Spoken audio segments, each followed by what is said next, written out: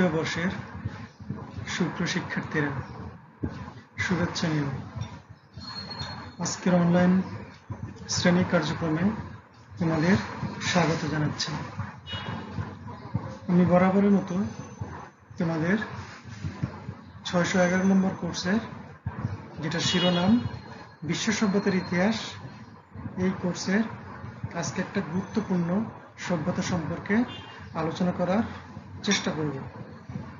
প্রিয় শিক্ষার্থীরা, যে সভ্যতাটা নাম বললে তোমরা আর কিছু জানো না জানো, প্রতি চার বছর পর পর বিশ্ববাসীকে আনন্দে, বেদনায় ভাসিয়ে একটা বিশাল the biggest show on earth নামে যে ইভেন্টটি উপস্থাপিত হয় বিশ্বের বিভিন্ন দেশে, বিভিন্ন বড় বড় দেশে খেলাধুলার জগতে, সেই অলিম্পিক শব্দটির সাথে আমরা কম বেশি সবাই পরিচিত।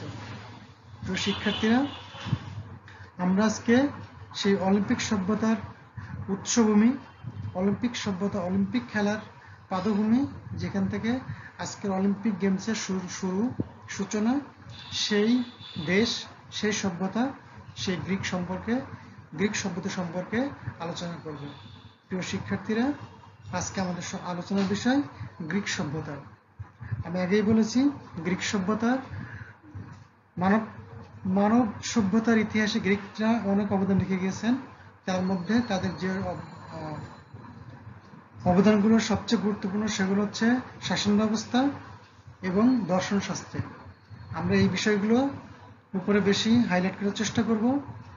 গ্রিক সভ্যতা, মানব সভ্যতার ইতিহাস অন্যতম একটি বৃহৎ এবং শক্তিশালী এবং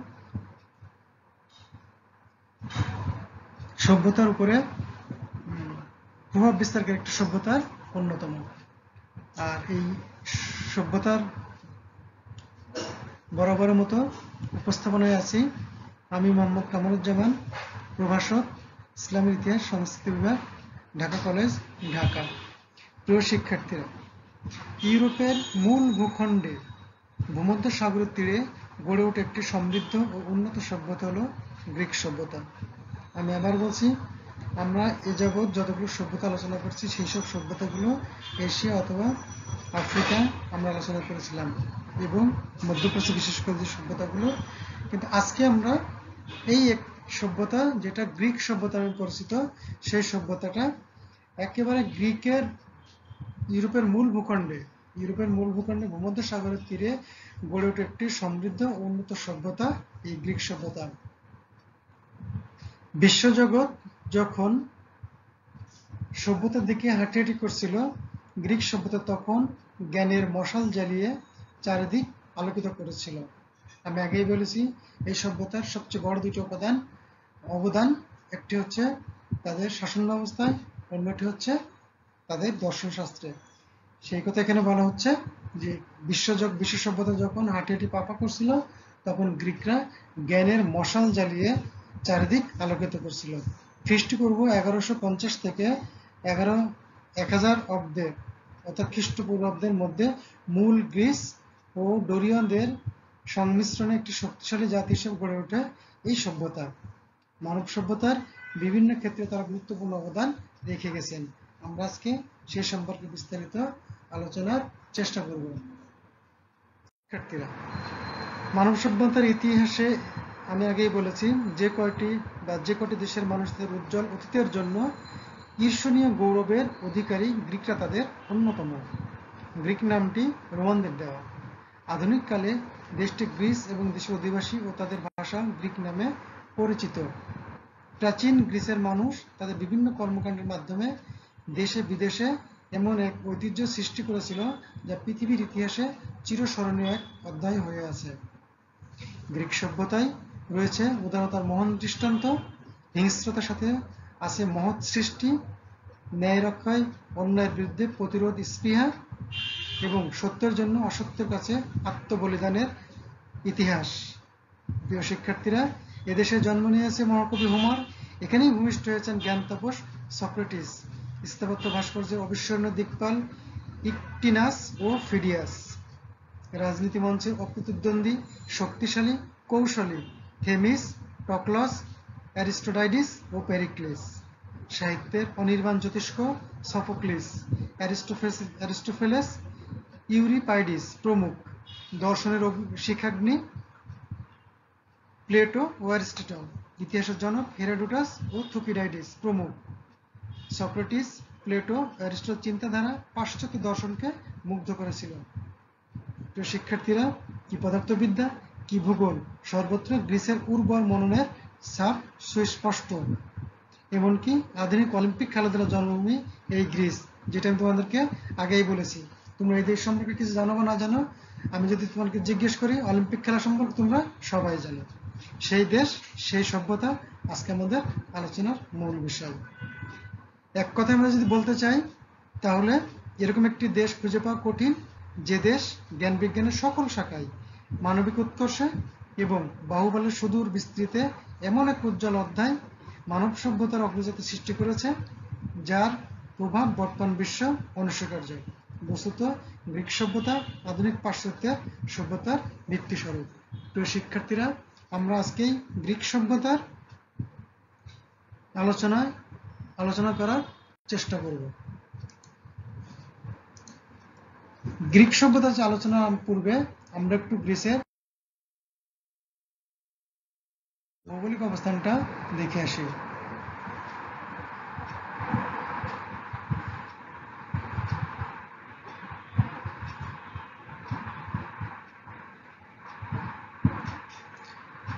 প্রিয় শিক্ষার্থীরা, তোমরা এখানে দেখো, ম্যাপে এটা হচ্ছে গ্রিস। বর্তমান যেটা গ্রিসের অবদান, আমি আগে বলেছি, ভূমধ্য সাগরের তীরবর্তী একেবারে মূল ইউরোপের ভূখণ্ডে এটা মেসিডোনিয়া বর্তমানে। এটা গ্রিস, এখানে গ্রিসের এই যে এথেন্স আর এখানে আছে স্পার্টা, আমরা যেটার কথা বলব স্পার্টার এথেন্স দুটি প্রতিদ্বন্দ্বী রাষ্ট্র ছিল সেই সময় গ্রিসে, যেটা করে আমরা পর্বতে আলোচনা করব। তো গ্রিক দেশটা পার্বত্যময় দ্বীপ রাষ্ট্র এটা আগেই আমি তোমাদের সেটা বলেছি। এর ভূমি ছিল সর্ব অনুর্বর কিন্তু এর একটা সুবিধা ছিল। দেখো, গ্রিসের তিন দিকে সাগর দ্বারা বেষ্টিত। সুতরাং এড্রিয়াটিক সাগর, ভূমধ্য সাগর ইজিয়ান সাগর দ্বারা বেষ্টিত। এটি হচ্ছে তোমার ভূমধ্য সাগর। এই তিন দিকে সাগর আছে। এই যে আছে মেডিটেরিয়ান সি, এরপর আছে এটা মেডিটেরিয়ান সির অংশ, এজিয়ান সাগর, এজিয়ান সি এটা, আর আছে এড্রিয়াটিক সাগর এদিকে আছে। তো মোটামুটি সাগর দ্বারা বেষ্টিত বলেই এই সভ্যতাটা বেশি ছিল। গ্রিসের ইতিহাস, ঐতিহ্যের ক্ষেত্রে প্রাচীন গ্রিসের ভৌগোলিক অবস্থান বিশেষ গুরুত্বপূর্ণ। মূলত গ্রিস একটি পার্বত্যময় দ্বীপ রাষ্ট্র তবে পার্বত্যভূমি ছাড়াও স্বল্প বৃষ্টিপাত ও ভগ্ন উপকূলরেখা ইত্যাদি গ্রিসের বিশেষ বৈশিষ্ট্য। শীতকালে সামান্য বৃষ্টিপাত হলেও বছরের অবশিষ্ট সময় আকাশ থাকে মেঘমুক্ত। মোট কথা গ্রিসের আবহাওয়া মূলত শুষ্ক আবহাওয়া। এজন্য গ্রিসের জমি ছিল অনুর্বর, পাশ্চাত্য সভ্যতার সমূহ বিকাশে নদীর গুরুত্বপূর্ণ ভূমিকা থাকলেও গ্রিসের ক্ষেত্রে একটু ব্যতিক্রম হয়েছিল। তেমনটি ঘটেনি কারণ এর নদ নদীগুলো খালের মতোই অপ্রশস্ত ও অনাব্য। তবে সাগর বেশিত হওয়ায় বর্তমানের মতো বন্দর সুবিধা বরাবরই গ্রিসে বিদ্যমান ছিল। তাই গ্রিক সভ্যতার বিকাশে সমুদ্রের অবদান অনস্বীকার্য। গ্রিসের কোনো ভূখণ্ডই সমুদ্র থেকে সত্তর কিলোমিটার এর বেশি দূরে অবস্থিত নয়। এ থেকে তোমরা বুঝতে পারছ যে গ্রিসের ক্ষেত্রে তার সমুদ্রটা, সমুদ্র বা বন্দরটা কতটা গুরুত্বপূর্ণ ছিল। দক্ষিণ গ্রিস ছিল গ্রিসের অবশিষ্ট ভূভাগতের সুগভীর উপসাগর দ্বারা বিচ্ছিন্ন। মধ্য উত্তর গ্রিস দেয়ালের মতো গড়ে ওঠে অসংখ্য খাড়া পাহাড় দ্বারা বিভিন্ন অংশে পরস্পর থেকে বিচ্ছিন্ন ছিল। এর ফলে এসব এলাকায় গড়ে উঠেছিল স্বতন্ত্র জীবনধারা ভিন্ন ভিন্ন আইন ও শাসন পদ্ধতি। ফলে তাদের মধ্যে আঞ্চলিকতার প্রভাব ছিল খুবই প্রবল। আর এসব স্বতন্ত্র অংশেই পরবর্তীকালে গড়ে উঠেছিল গ্রিকের বিভিন্ন নবরাষ্ট্র। আমরা সে সম্পর্কে এখন আলোচনায় যাব।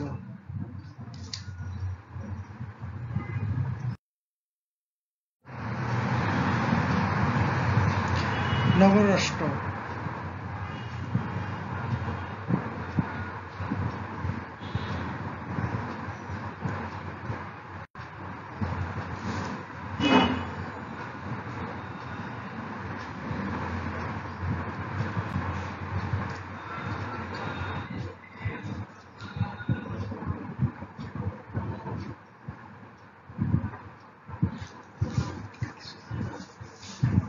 সুপ্রিয় শিক্ষার্থীরা আমি তোমাদের আগেই বলেছিলাম যে গ্রিস, গ্রিসের যে ভৌগোলিক যে বিচ্ছিন্নতা, সেই বিচ্ছিন্নতার কারণেই গ্রিক আসলে একটা দেশ হিসাবে বা একটা রাষ্ট্র হিসাবে এতটা গড়ে ওঠেনি যেটা তাদের আঞ্চলিকতার যে প্রভাব ছিল, সেই আঞ্চলিকতার প্রভাবেই আমরা গ্রিক নগরাষ্ট্রগুলোর উদ্ভব হয়েছিল।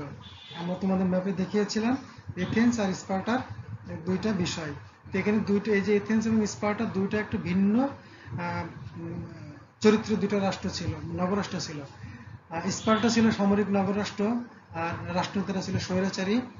আর সমাজ ছিল শ্রেণি বিভক্ত। এখানে তিন ধরনের লোক আমরা দেখতে পাই। একটি হচ্ছে স্পার্টান এরা ডোরিয়ান এবং প্রথম শ্রেণির নাগরিক। স্পার্টানা ছিল বিজেতা ডোরিয়ান যারা গ্রিক জয় করেছিল, সেই ডোরিয়ান বংশোদ্ভূত গ্রিক এবং প্রথম শ্রেণির শ্রেণির নাগরিক। স্পার্টা ও পেল কোনেসাস এর প্রাচীন অধিবাসী ছিল সম্ভবত একিয়ানগন আচ্ছা। দ্বিতীয় ছিল প্যারিওসিস প্যারিওসি এরা আছে প্যারিওসি অর্থ পার্শ্ববর্তী অঞ্চলের বাসিন্দা, অর্থাৎ বহিরাগত নানা জাতের মানুষ। এরাও স্বাধীন ছিল, তবে তাদের কোনো রাজনৈতিক স্বাধীনতা ছিল না। তৃতীয় একটা শ্রেণি ছিল, সেটা হচ্ছে হেল্ট বা সাপ বা কৃতদাস। হেলট বলা হতো সাপ বা কৃতদাসদের এরা ছিল স্পার্টার আদিম অধিবাসী ও তাদের বংশধর। ডোরিয়ানগণ গ্রিক, ডোরিয়ান গ্রিকগণ জয় করে তাদেরকে দাসে পরিণত করেছিল। প্রাচীনকালে গ্রিসের কোনো এলাকার পরাজিত জনগণ কৃত- কৃতদাসে পরিণত হলে তাদেরকে সাধারণত বিভিন্ন স্থানে বিক্রি করে ছড়িয়ে দেওয়া হতো।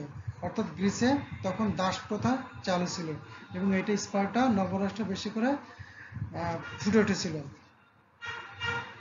কিন্তু স্পার্টানরা পরাজিত স্থানীয়দেরকে দাসে পরিণত করে নিজস্ব জমিতে ফসল ফলানোর কাজে নিয়োজিত করে।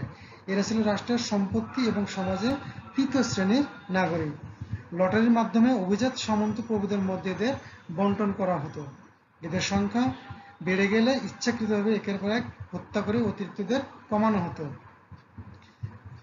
কৃতদাসদের জীবন ছিল অত্যন্ত করুণ, যারা সবসময় প্রভুর প্রয়োজনীয় দ্রব্য উৎপন্ন করতে বাধ্য ছিল। তারা সদা সর্বদা প্রভুর সেবায় নিয়োজিত থাকত। হেলোডদের জীবন নিরানন্দময় ও সংগ্রামী হলেও ভবিষ্যৎ সংগ্রামের কথা চিন্তা করে সংখ্যা বৃদ্ধির প্রয়োজনে তারা অধিক জন্মহারে আগ্রহী ছিল। যুদ্ধের প্রয়োজনে অনেক সময় দাসদের মুক্তি দিয়ে রাষ্ট্রের বাইরে অভিযান প্রেরণ করা হতো। এরা নাগরিক অধিকার হতে বঞ্চিত ছিল, তবে স্বাধীনতা পাওয়া অন্য হেল হেলটদেরকে এরা ঘৃণা করত। স্পার্টা নগর রাষ্ট্রে হেলটদেরকে সবসময় চোখে চোখে রাখা হতো এবং তাদের প্রতি নিষ্ঠুর ব্যবহার করা হতো। এরা ছিল নিপীড়িত ও নির্যাতিত। সুপ্রিয় শিক্ষার্থীরা এব- এবার আমরা এথেন্স নগররাষ্ট্রের কিছু বিষয় দেখে আসি। এথেন্স নগররাষ্ট্র গড়ে উঠেছিল মধ্য গ্রিসের এটিকা নামক স্থানে এক পার্বত্য এবং অনুর্বর ভূমিতে। এটিকায় গ্রিকদের প্রবেশ ঘটেছিল ধীরে ধীরে এবং শান্তিপূর্ণভাবে। ফলে এখানে কোনো যুদ্ধবাজ শাসক গোষ্ঠীর উদয় ঘটেনি। তাছাড়া এটিকায় কৃষির বিকাশে তেমন না ঘটায়, এখানে ভূমিদাসদেরকে শোষণের তেমন কোনো সুযোগ ছিল না। আমরা এখানে দেখি যে এথেন্স আহ, এথেন্স ছিল নবরাষ্ট্র এখানে দুটি সংসদ ছিল প্রথমটা উচ্চকক্ষের নাম ছিল এরিওপেগাস এটা গোত্র প্রধানদের নিয়ে বড় সংসদ ছিল দ্বিতীয়টা ছিল এক্লেশিয়া এটা সাধারণ নাগরিকদের নিয়ে একটা সমিতি ছিল। এথেন্সের সমাজও তিন ভাগে বিভক্ত ছিল। এথেন্সের নাগরিক সমাজ ছিল চার ভাগে বিভক্ত। এর মধ্যে প্রথম তিন শ্রেণি ছিল স্বাধীন নাগরিক এবং অপর শ্রেণি ছিল দাস অর্থাৎ পরাধীন নাগরিক। আচ্ছা আমরা প্রথম দেখি, প্রথম শ্রেণি, এই শ্রেণীতে ছিল ধনী অভিজাত শ্রেণির লোক। এরা পূর্ণ রাজনৈতিক ও নাগরিক সুবিধা ভোগ করত। দ্বিতীয়ত ছিল, দ্বিতীয় শ্রেণি ছিল সাধারণত জন অর্থাৎ কৃষক, বণিক, নাবিক, কারিগর ব্যবসায়ী প্রমুখ, অর্থাৎ পেশাজীবী শ্রেণি। এদের নাগরিক অধিকার ছিল, কিন্তু রাজনৈতিক অধিকার ছিল না। তৃতীয় শ্রেণীতে ছিল অন্য দেশ আগত জনগণ, এদের কোনো রাজনৈতিক বা নাগরিক অধিকার ছিল না। এরা সাধারণত শিল্প, উৎপাদন ও ব্যবসায় নিয়োজিত থাকতো। আর একটা শ্রেণি ছিল দাস শ্রেণি। স্বাধীন নাগরিক ছাড়া ইতিহাসে বহু সংখ্যক দাস ছিল। এরা মনিবের সম্পদ হিসেবে বিবেচিত হতো। এই এথেন্সে চূড়ান্ত গণতন্ত্র প্রতিষ্ঠা করেন প্যারিক্লিস। তিনি ক্ষমতা আসেন চারশো ষাট খ্রিস্টাব্দ।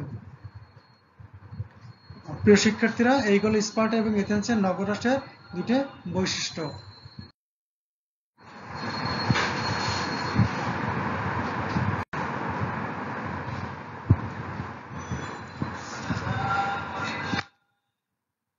প্রিয় শিক্ষার্থীরা আমরা এ- এখন আসছি হেলেনিক সভ্যতা, যে যে শব্দ ছিল, সেই গ্রিক সভ্যতা, হেলেনীয় বা হেলেনিক বলতে ম্যাসিডোনীয় গ্রিক সভ্যতাকে বোঝায়। অর্থাৎ হোমারীয় যুগের ভিত্তিভূমির উপর যে গ্রীষ্মের সভ্যতা গড়েছিল, তার নাম দেওয়া হয়েছে হেলেনিক সভ্যতা। এই সভ্যতার ব্যাপ্তিকাল ধরা হয় হোমারীয় যুগ থেকে আলেকজান্ডারের উদয়কাল পর্যন্ত। মূল গ্রিক ভূখণ্ড ছাড়াও আয়োনিয়া, বর্তমান তুরস্কের আনাতোলিয়ার পশ্চিম প্রান্ত ক্রিট সাইপ্রাস ইত্যাদি কতিপয় গ্রিক উপনিবেশে এই সভ্যতার বিকাশ ঘটে। গ্রিক নবরাষ্ট্রসমূহের মধ্যে এথেন্সের প্রভাব এতটাই প্রবল ছিল যে প্রাচীন গ্রিক সভ্যতা মূল্যায়নের ক্ষেত্রে এথেন্সের মূল্যায়নকে প্রাধান্য পেয়ে থাকে। উদাহরণ বলা যায় যে হেলেনীয় সংস্কৃতি মূলত এথেনীয় সংস্কৃতির নামান্তর। প্রিয় শিক্ষার্থীরা, আমরা এই গ্রিক সভ্যতায় প্রথম যে বিষয়টা আলোচনা করব সেটা হচ্ছে তাদের ধর্ম।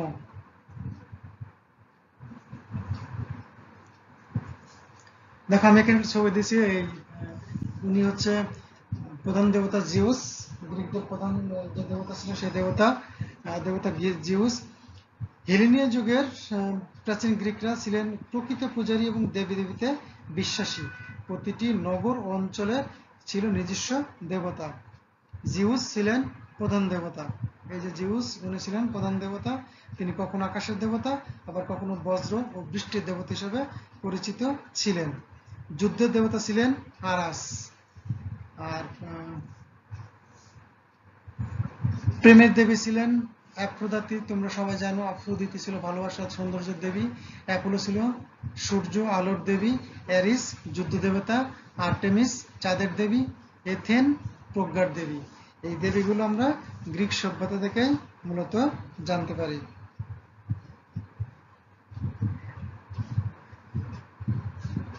দেবতা আচ্ছা গ্রিকবাসী বিশ্বাস করত দেবতাদের বাস উত্তর গ্রিসে অলিম্পিয়াস পর্বতের চূড়ায়। গ্রিক দেবী ও দেবতার নামের পরিচয় আমি তোমাদেরকে এখানে দিয়েছি। এছাড়া ছিল ডিমিটার কৃষি বিষয়ক দেবী, কৃষি বিষয়ক দেবী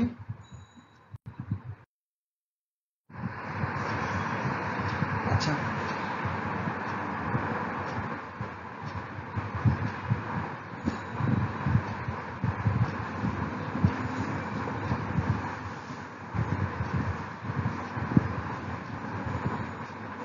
আহ, প্রিয় শিক্ষার্থীরা আমি বলছিলাম গ্রিক ধর্মের কথা ডিমিটার ছিল কৃষি বিষয়ক দেবী হারমে ছিল ব্যবসা বিষয়ক দেবী হেরা ছিল বিবাহ বন্ধন প্রকার দেবী যেটা জিউসের স্ত্রী ছিল আর জিউসকে তাকে বলেছে যে দেবতাদের রাজা বলা হতো।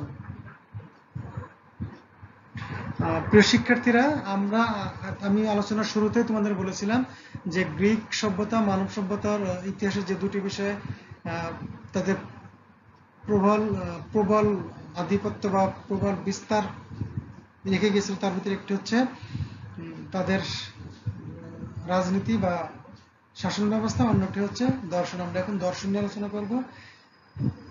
তোমরা ছবিতে যে ব্যক্তির পরিচয় তোমরা সবাই জানো ইনি Socrates.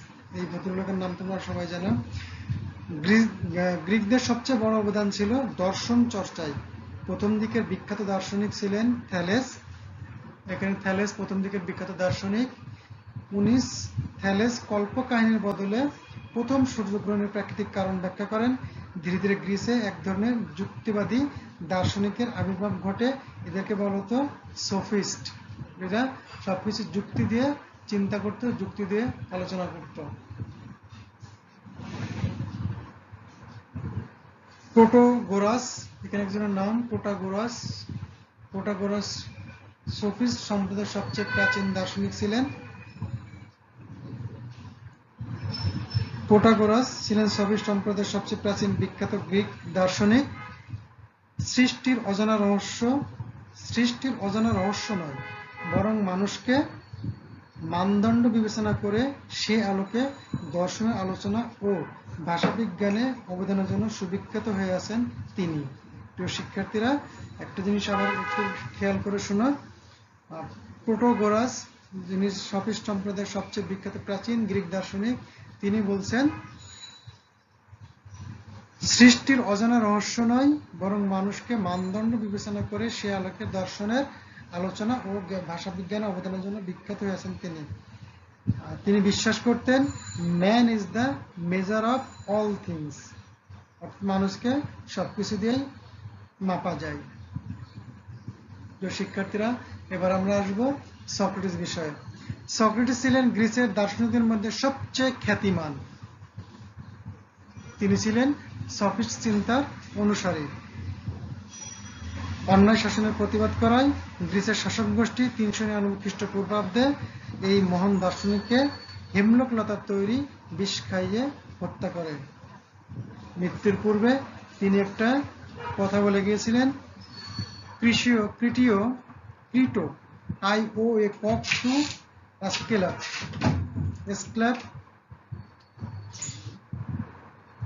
will you remember to pay debt অর্থাৎ উনি বলছেন ক্রিটো অ্যাস ক্লেপিয়াস আমাদের কাছে একটা মরক পাই। তার ঋণ পরিশোধ করতে ভুলো না যেন। অ্যাসক্লেপিয়াস হচ্ছে গ্রিকের আরোগ্য লাভের দেবতা। সক্রেটিসের শেষ কথা থেকে বোঝা যায়, তিনি বোঝাতে চেয়েছিলেন মৃত্যু হলো আরোগ্য এবং দেহ থেকে আত্মার মুক্তি। সক্রেটিসকে সব জ্ঞানীদের গুরু বলা হয়। তার বিখ্যাত কয়েকটা উক্তি ছিল। আচ্ছা আর একটা জিনিস বলছে যে মানুষের বুদ্ধিবৃত্তি দিয়ে প্রত্যেকটা বস্তু যাচাই করা এবং চিন্তার ক্ষেত্রে আবেগ বর্জন করাই ছিল তার শিক্ষার মূল উদ্দেশ্য। অর্থাৎ এখানে পুরোটা বলছে যুক্তিবাদী হতে। মানুষের বুদ্ধিবৃত্তি দিয়ে প্রত্যেকটা বস্তু যাচাই করা এবং চিন্তার ক্ষেত্রে আবেগটাকে বর্জন করতে হবে। যে কোনো জিনিস চিন্তা করতে হলে অবশ্যই আমাদের আবেগ বর্জন করে চিন্তা ভাবনা করতে হবে। এই জন্য চিন্তা ভাবনা করতে হবে এবং তাহলে আমরা সঠিক উদ্দেশ্যে যেতে পারব। তারপর একটি বিখ্যাত ছিল নো দাইসেল যেটা আমাদের কলেজের মনোগ্রাম তোমরা দেখবে, ঢাকা কলেজের আমাদের যে গেট সেই গেটেই লেখা আছে নো দাইসেল এইটা সবচেয়ে একটা বিখ্যাত উক্তি। নলেজ ইজ ভার্সু জ্ঞানী হচ্ছে পবিত্র বা জ্ঞানী হচ্ছে সবকিছুর মূল।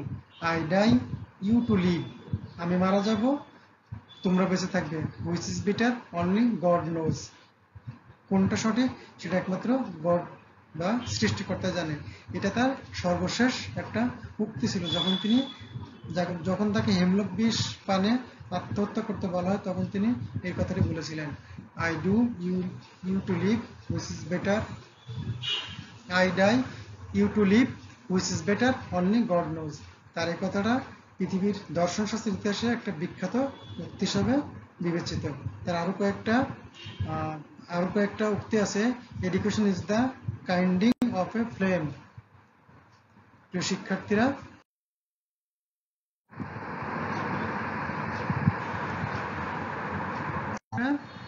গ্রিকের আরেকজন বিখ্যাত দার্শনিক হলেন প্লেটো। প্লেটো, সক্রেটিসের ছাত্র সক্রেটিসের ছাত্র, দার্শনিক প্লেটো।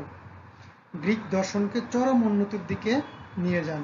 তিনি তার চিন্তাগুলো ধরে রাখেন দ্য রিপাবলিক নামে বিখ্যাত তার গ্রন্থে।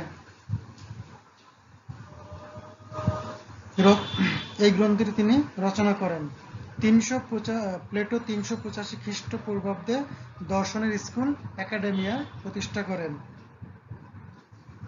তিনি সক্রেটিসের শিক্ষার বক্তব্যগুলো নিয়ে dialogues of Socrates dialogues of Socrates নামে একটি বিখ্যাত গ্রন্থ রচনা করেন। তার কয়েকটা বিখ্যাত উক্তি ছিল। কার্লিজ knowledge virtue is knowledge and education is the main thing to acquire virtue virtue is knowledge and education is the main thing to acquire knowledge এটাই ছিল রাষ্ট্র পরিচালনায় জ্ঞান প্রাধান্য লাভ করবে, এটাই ছিল তার মূল বক্তব্য। প্লেটোর প্রকৃত নাম ছিল অ্যারিস্টোক্লেস। প্লেটো নিজে, প্লেটো নিজ চোখে দেখেছিলেন যুদ্ধে, স্পার্টার যুদ্ধে, এথেন্সের পরাজয়। এথেন্সের শাসন ব্যবস্থায় প্রতিক্রিয়াশীলদের ক্ষমতা দখল ও তথাকথিত গণতন্ত্রের নামে তার শিক্ষাগুরু সক্রেটিসের আত্মাহুতি। এই সমস্ত ঘটনা প্রবাহ প্লেটোর জীবনের প্রতি গতি, পরিবর্তনে এক বিরাট ভূমিকা পালন করেছিল। প্রিয় শিক্ষার্থীরা, প্লেটোর জীবনের একটি মুখ্য উদ্দেশ্য ছিল সক্রেটিসের আদর্শকে যথার্থ বলে প্রমাণ করা। তিনি দেখাতে চেয়েছিলেন রাজনীতিতে সক্রেটিসের মতো জ্ঞানী ব্যক্তিদের প্রয়োজন সবচাইতে বেশি। প্লেটো তার আদর্শ ও ন্যায় ভিত্তিক রাষ্ট্র বলতে সেই রাষ্ট্রকে বুঝিয়েছেন যে রাষ্ট্রের শাসন পরিচালনায় জ্ঞান প্রাধান্য লাভ করবে। রাষ্ট্র পরিচালনায় জ্ঞান প্রাধান্য লাভ করবে।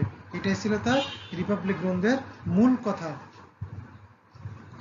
প্লেটো বিশ্বাস করতেন যে যে কোনো দেশের সরকার কাঠামোয় দার্শনিকদের নেতৃত্ব বাঞ্ছনীয়, কারণ তারাই গভীর জ্ঞানের অধিকারী হয়ে থাকেন। তিনশো ছিয়াশি খ্রিস্টপূর্বাব্দে এথেন্সে একটি একাডেমি প্রতিষ্ঠা করে, যেটার নাম একাডেমিয়া। এর মাধ্যমে তিনি গ্রিকদের মধ্যে রাজনৈতিক রাজনৈতিক শিক্ষার বিকাশ ঘটাতে সচেষ্ট ছিলেন। একাডেমিকে প্রাচীন পৃথিবীর প্রথম বিশ্ববিদ্যালয় হিসেবে চিহ্নিত করা যায়।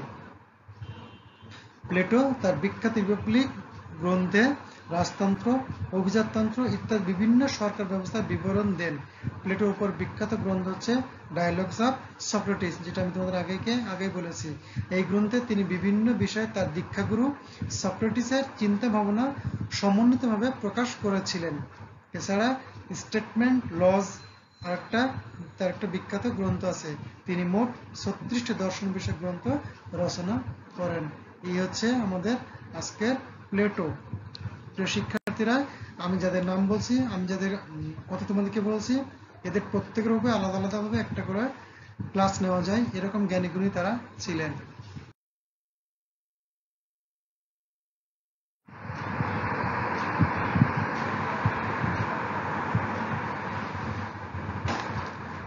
প্রিয় শিক্ষার্থীরা, এরপর আমরা যে, যার আলোচনা করব তিনি হচ্ছে অ্যারিস্টটল। অ্যারিস্টটল আবার প্লেটোর ছাত্র ছিলেন। তিনি একজন বড় মাপের দার্শনিক ছিলেন। তার একটি বিখ্যাত গ্রন্থের নাম দ্য পলিটিক্স। তিনি লাইসিয়ামের প্রতিষ্ঠাতা। লাইসিয়াম আমাদের দেশে অনেক স্কুলের নাম দেখবে, লাইসিয়াম। এই লাইসিয়ামের প্রতিষ্ঠাতা ছিলেন অ্যারিস্টটল। অ্যারিস্টটল আলেকজান্ডারের গৃহশিক্ষক ছিলেন। অ্যারিস্টটলের উক্তি, মানুষ সামাজিক ও রাজনৈতিক জীব, যে ব্যক্তি সমাজে বাস করে না, সে দেবতা, না হয় পশু। আইন হলো পক্ষপাতীন চুক্তি। রাষ্ট্র হলো পরিবারের সম্প্রসারিত অংশ। সংবিধান হচ্ছে রাষ্ট্র কর্তৃক মনোনীত পূর্ণাঙ্গ জীবন বিধান। মানুষ প্রকৃতিগতভাবেই রাজনীতির কবি। প্রিয় শিক্ষার্থীরা, এই হচ্ছে অ্যারিস্টটলের মৌলিক যে বিষয়গুলো সেগুলো আমি তোমাদেরকে বললাম।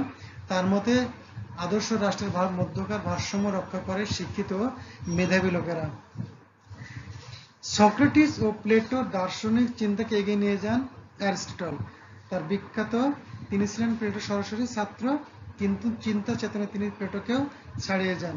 তার দ্য পলিটিক্স গ্রন্থের কথা আমরা আগেই বলেছি। লিখতে যায়, তিনি প্লেটোকে অনুসরণ করলেও প্লেটো অপেক্ষা তিনি অধিকতর বাস্তবধর্মী প্রশ্ন তুলে ধরেন এবং এগুলোর উপর আলোচনা করেন। অ্যারিস্টটল এই সিদ্ধান্তে পৌঁছান যে, আদর্শ রাষ্ট্রের মধ্যকার ভারসাম্য নির্ভর করে মেধাবী ও শিক্ষিত লোকদের উপর। কারণ শিক্ষিত ও মেধাবী লোকেরা চরম পন্থা পরিহার করতে সক্ষম হন। অন দ্য হেভেন আছে, অ্যারিস্টটল কর্তৃক রচিত উপর একটি গ্রন্থ। এই গ্রন্থে তিনি আইনান দিকদের অনুসন্ধিচ্ছার বিভিন্ন দিক আলোচনা করেন। প্রিয় শিক্ষার্থীরা এই ছিল গ্রিক দর্শন।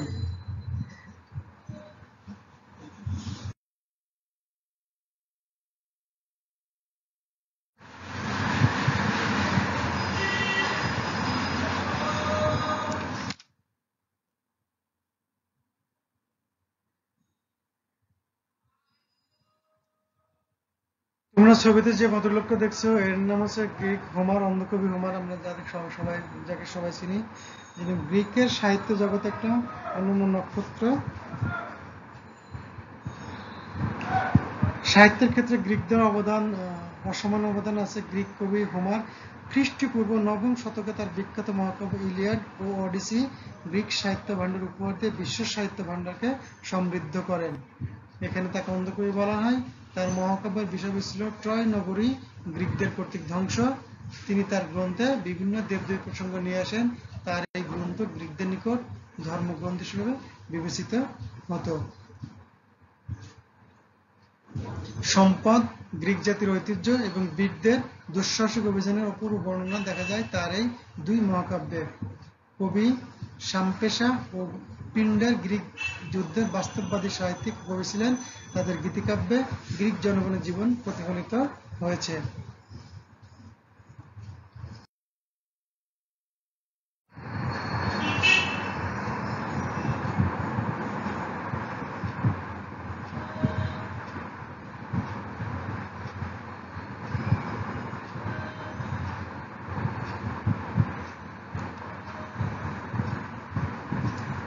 এখানে আমি নাটকের সংক্ষিপ্ত আকারে কিছু বলে যাচ্ছি তোমাদেরকে। প্রাচীন বিশ্বের সাংস্কৃতিক ক্ষেত্রে গ্রিকদের অবদান ছিল রঙ্গমঞ্চ তৈরি ও নাটক রচনা করা।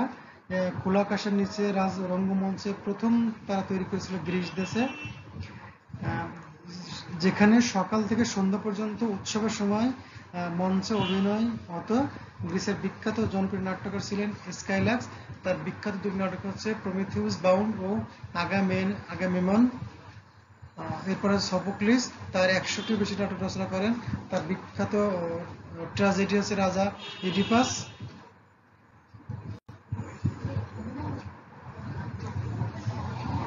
প্রমেথিউস বাউন্ড, প্রমেথিউস, বন্দি প্রমেথিউস ও আচ্ছা সফোক্লিস তিনি একশো বেশি ট্রাজেডি হচ্ছে। অস্তিগমেন ও ইলেকট্রা একটা হচ্ছে ইউরিদিপাস তার আলোচনা নাটক হচ্ছে ওরেস্তেস।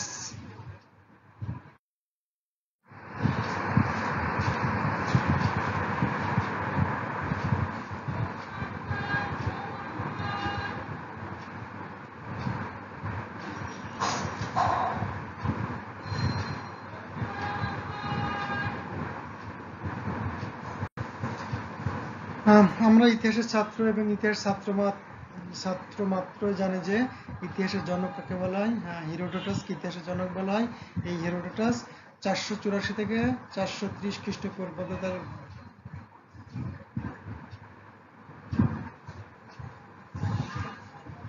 ইতিহাসের জনক বলা হয়, আমরা এটা আমরা আগেই জানি। ঐতিহাসিক ঈশ্বরী প্রসাদ বলছেন, ইতিহাস রচনায় গ্রিকরা অসাধারণ কৃতিত্ব দেখিয়েছেন। প্রাচীন গ্রিক ঐতিহাসিক হিরোটোটাসকে ইতিহাসের জনক বলা হয়। থুকিডাইডিসও একজন খ্যাতিমান ঐতিহাসিক ছিলেন। যুক্তিগ্রাহ্য ও প্রামাণিকভাবে তিনি ইতিহাস চর্চা করেছেন বলে তাকে বৈজ্ঞানিক ইতিহাসের জনক বলা হয়। তার বিখ্যাত হিরোটাসের বিখ্যাত গ্রন্থ নাম history of the Persian war তোমরা নাম থেকে বুঝতে যে পার্শ্বিকদের সাথে গ্রিকদের যুদ্ধ হয়েছিল। সেই যুদ্ধের পটভূমি রচিত তার এই বিখ্যাত বইটি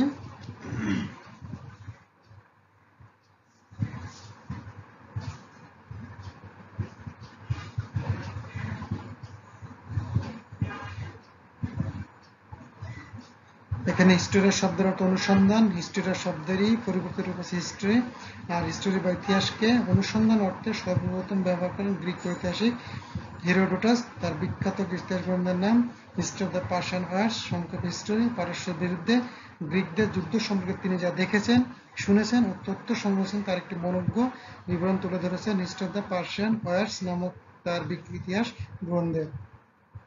এই গ্রন্থটি পৃথিবীর প্রথম ইতিহাস গ্রন্থ হিসেবে স্বীকৃত। এই গ্রন্থটি নয়টি উপখণ্ডে বিভক্ত। তো যাই হোক, এটা অনেক লম্বা একটা বিষয় তা থুকিডাইটিস অন্যতম একজন হেরোডোটাসের নিকট ইতিহাস ছিল মানব জীবন সম্পর্কিত বিদ্যা। তোমরা এই কথাটা খুব ভালো করে শুনে নাও। ইতিহাস হচ্ছে মানব জীবন সম্পর্কিত বিদ্যা। তিনি সর্বপ্রথম কিংবদন্তিমূলক রচনা লেখার পরিবর্তে অনুসন্ধানমূলক অনুসন্ধানের মাধ্যমে ইতিহাস রচনায় মনোযোগী হয়েছিলেন। তার প্রচেষ্টা ইতিহাস রচনার ক্ষেত্রে বৈজ্ঞানিক পদ্ধতির প্রবর্তন হয়েছিল। থুকিডাইডিস যার জন্ম চারশো ষাট থেকে চারশো খ্রিস্টপূর্বাব্দ উপরজন বিখ্যাত গ্রিক ঐতিহাসিক, তার গ্রন্থ history of the Peloponnesian war, Peloponnesian war. এই গ্রন্থে তিনি পেল পেলোপনেশীয় যুদ্ধের উপর লিখিত তিনি নিরপেক্ষভাবে এথেন্স ও স্পার্টার দোষ ত্রুটি গ্রন্থে তুলে ধরেছেন। তার বড় বৈশিষ্ট্য ছিল নিরপেক্ষতা, যুক্তিগ্রাহ্য ও প্রামাণিকভাবে তিনি ইতিহাস চর্চা করেছেন বলে থুকিডাইডিসকে বলা হয় বৈজ্ঞানিক ইতিহাসের জনক সুতরাং কথা বলা যায়, ইতিহাস চর্চায় গ্রিকদের অবদান অপরিসীম। গ্রিক ঐতিহাসিকদের পথ ধরে পরবর্তীকালে আধুনিক ইতিহাস রচনার পদ্ধতি গড়ে ওঠে।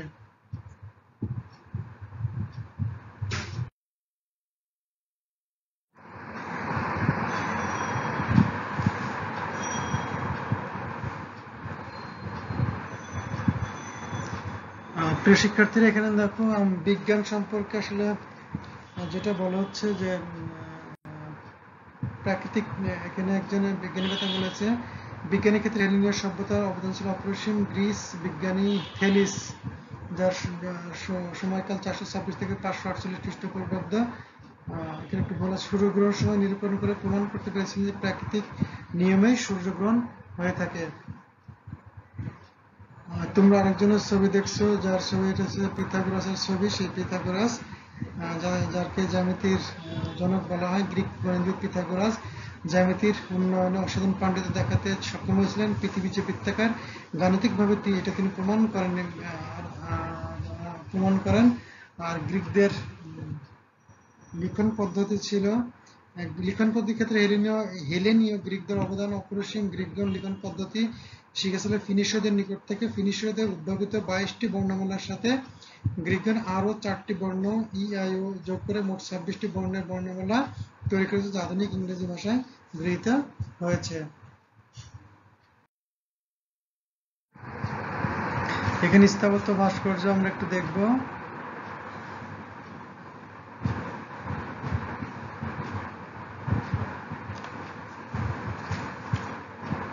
হেলেনীয় যুগে স্থাপত্য ও ভাস্কর্য শিল্প ব্যাপক বিকাশ ঘটেছিল। গ্রিক স্থাপত্য ছিল নির্মাণ কৌশলের দিক থেকে খুবই নিখুঁত ও শৈল্পিক চেতনা সমৃদ্ধ। গ্রিকদের স্থাপত্যের আকৃতি ও নির্মাণ রীতি ছিল। তিন ধরনের, আমরা এখানে এখানে দেখো পার্থেনন মন্দিরটি, এটা ডোরীয় রীতিতে তৈরি। এই রীতিতে নির্মিত স্থাপত্যগুলো বড় বৈশিষ্ট্য হচ্ছে, এর থামগুলিতে মোটা আকৃতির এবং কেন্দ্রত চতুষ্কোণ। এথেন্সের প্রবেশের তোরণদ্বার জগৎ বিখ্যাত দেবী এথেনার মূর্তি এবং প্রার্থনার মন্দিরটি। এর একটা বিশেষ বৈশিষ্ট্য তৃতীয় হচ্ছে আয়নীয় আয়নীয় রীতি ইরিকথিয়ান একটা মন্দির ছিল সে দিতে পারেনি। তারপর কোরিয়ান, কোরিয়ান্থীয় নীতি একটা নীতি, এটা একটা নীতি ছিল। আর আমি আগেই বলেছি, প্রতি চার বছর পর পর যে অলিম্পিক খেলা হয়, সেই অলিম্পিক খেলাটার জন্ম কিন্তু এই গ্রিসে, ম্যারাথনটা কিন্তু গ্রিসে থেকেই আহ, হয়েছিল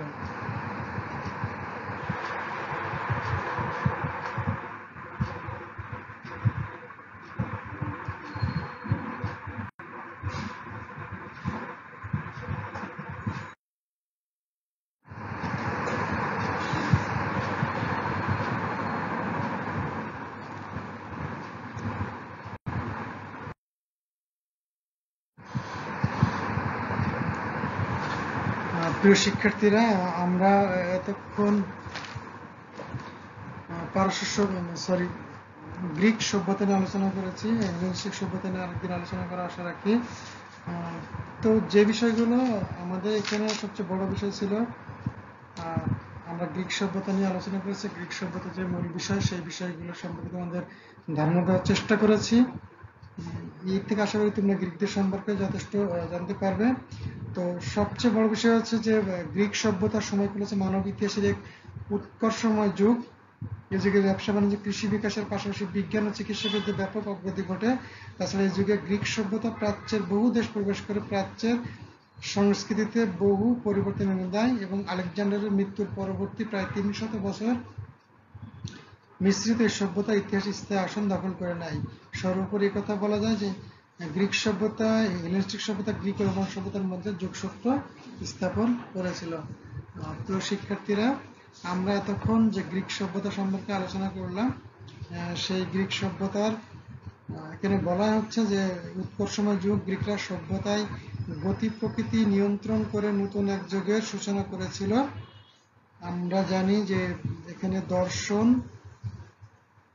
নগররাষ্ট্র ভাস্কর্য শিল্পকলা স্থাপত্য ধর্ম সাহিত্য ইতিহাস গণিত প্রভৃতি ক্ষেত্রে গ্রিকরা ইতিহাসের অগ্রদূত হিসেবে গণ্য হয়ে আছে সর্বোপরি আমরা এই কথা বলতে পারি যে ইতিহাস ইতিহাসে গ্রিকদের অবদান ইতিহাসে মূল্যায়ন করছে ইতিহাস তাদেরকে অন্যভাবে অন্য উচ্চতায় তাদেরকে আসন দিয়েছে।